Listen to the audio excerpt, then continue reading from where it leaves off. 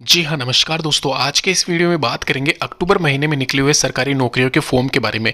जो वैकेंसीज अक्टूबर महीने में निकली हुई है, उन सभी वैकेंसीज के बारे में चर्चा करेंगे। मोस्टली फोकस करेंगे पाँच ऐसी सरकारी नौकरियों के फॉर्म के बारे में, जो कि यहाँ पे मेरिट बेस्ड सिलेक्शन होगा प्लस यहाँ पे सरकारी नौकरियों का फॉर्म है ये। एक तरीके से टेंथ लेवल वाला एग्जामिनेशन है, जहाँ पर सिलेक्शन होने के पूरे पूरे चांसेस होते हैं। कट ऑफ़ बहुत कम जाती है, साथ ही साथ तीन महीने के अंदर भर्ती प्रक्रिया पूरी कर ली जाती है यानी कि जो वैकेंसीज के बारे में हम चर्चा करने वाले हैं, वो सारी वैकेंसीज सरकारी वाली होने वाली है। यानी कि गवर्नमेंट वाली वैकेंसीज है ये। स्टेट वाली नहीं है, यहाँ पे ये सारी की सारी वैकेंसीज सेंट्रल वाली है। चाहे आप किसी भी स्टेट से बिलोंग करते हो, आप आवेदन कर सकते हो अप्लाई कर सकते हैं। मोस्टली वैकेंसीज टेंथ पास वाली है। अगर आपकी एज अट्ठारह से चालीस साल के बीच में आती है तो आप इन सभी वैकेंसीज़ के लिए एलिजिबल रहेंगे। टेंथ क्लास पास वाली वैकेंसीज़ मेरिट बेस वाली वैकेंसी होती है सिलेक्शन वाली, यानी कि जो अंकों के आधार पर चयन किया जाता है, जिस वैकेंसी में वो दसवीं के आधार पर किया जाता है, ये आप सभी को पता होगा। इसके अलावा ट्वेल्थ पास वाली या फिर ग्रेजुएशन लेवल वाली वैकेंसीज़ के बारे में भी चर्चा कर लेंगे साथ के साथ। बैंकिंग सेक्टर में, इसके अलावा रेलवे में, या फिर अगर मैं बात करूँ यहाँ पर इसके साथ ही साथ सचिवालय वाली वैकेंसी या फिर जो म्यूनसिपल कॉरपोरेशन वाली वैकेंसीज़ है, उन सभी के बारे में डिस्कस करेंगे। ये सारी वैकेंसीज की लास्ट डेट 30 अक्टूबर 2024 रहने वाली है। यानी कि अक्टूबर के लास्ट में किसी की 27 है, किसी की 30 है, किसी की नवंबर 10 तारीख भी हो सकती है।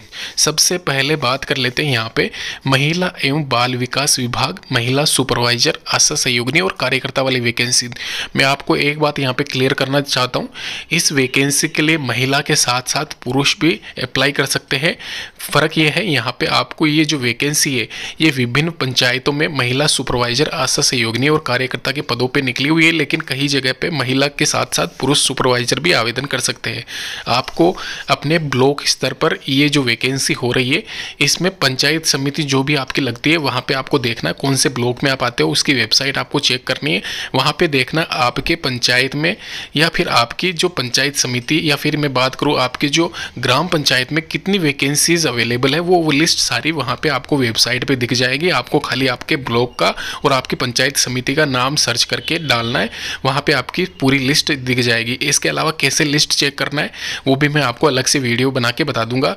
महिला सुपरवाइजर के आठ हज़ार तीन सौ उनसाठ और कार्यकर्ता के सात हज़ार एक सौ तीस पद। टोटल मिला के ये बम्पर वैकेंसी मान सकते हो आप यहाँ पे।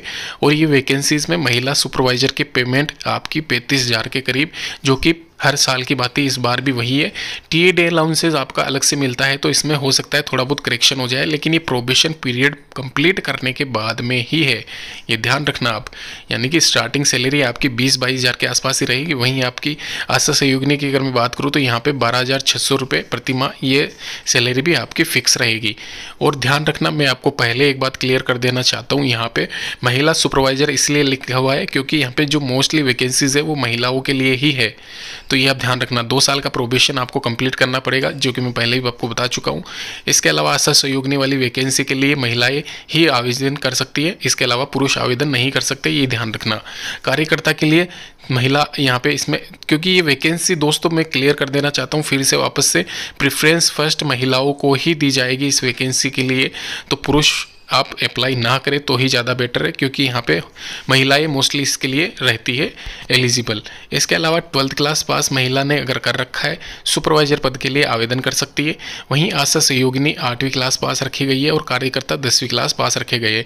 किसी केस में पुरुष के लिए भी ये एक तरीके से वैकेंसी जहाँ पर महिलाओं ने आवेदन नहीं किया है, वहाँ पर पुरुष के लिए यहाँ पर एक तरीके से आवेदन कर सकते हैं और फिर वो अप्लाई वो मतलब कि सिलेक्शन होने के चांसेज उनके फिर उस टाइम रह सकते हैं। ये आप ध्यान रखना। इसके अलावा आप पते भी पता भी कर सकते हो कि कैसे क्या आपको चेक करना है कि किसने कितने आवेदन किस जगह से किए हैं तो उस हिसाब से आप फिर आवेदन कर लीजिए।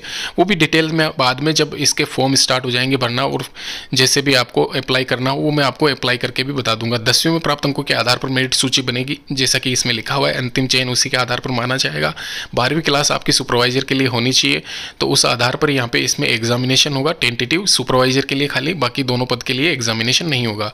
अभी बात कर लेते हैं सचिवालय विभाग की वैकेंसी के बारे में अंतिम तिथि तीस अक्टूबर 2024 ध्यान रखना।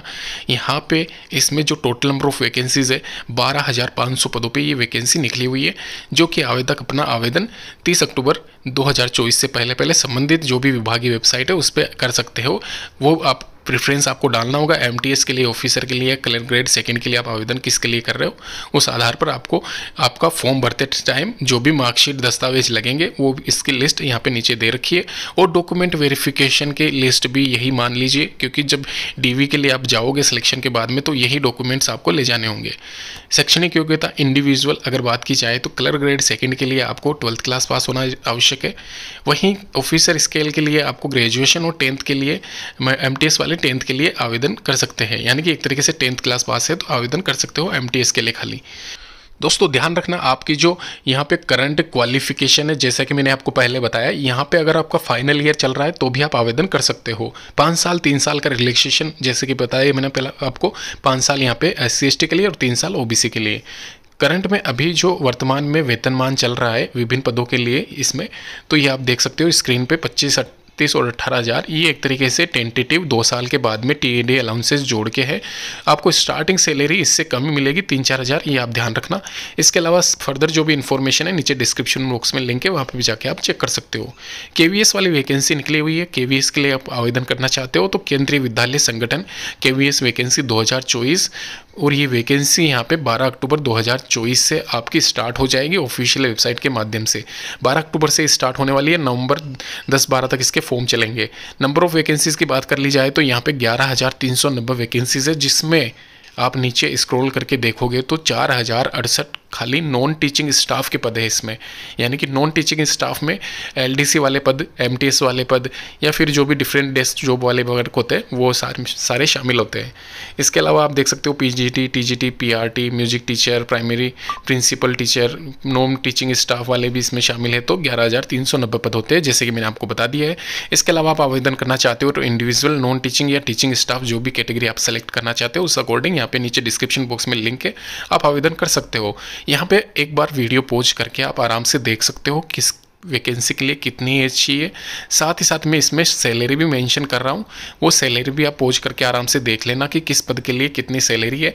और साथ ही साथ यहाँ पे पूरा कंप्लीट सिलेबस क्या रहने वाला है, वो भी बताया गया है तो आप आराम से इस वीडियो को देख सकते हो और इसका पीडीएफ भी डाउनलोड कर सकते हो। जैसे कि स्क्रीन पे आपको दिख रहा है वैसे तो कि क्या इसका एग्ज़ाम पैटर्न रहता है। जैसे कि कंप्यूटर टीचर में P R T T G T P R T के अलावा यहाँ पे म्यूज़िक टीचर का क्या पैटर्न रहेगा।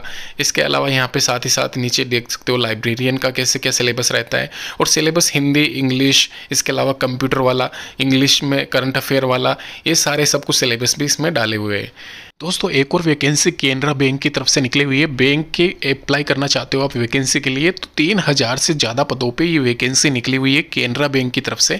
और ये वैकेंसी के लिए एज लिमिट 20 से 28 साल रखी गई है। 21 से आवेदन स्टार्ट हो चुके हैं और ये आवेदन चार दस दो तक चलेंगे। तो अगर बैंक की भर्ती के लिए आप आवेदन करना चाहते हो तो ये वैकेंसी आपके लिए अच्छी है, निकली हुई है अप्लाई कर दीजिए।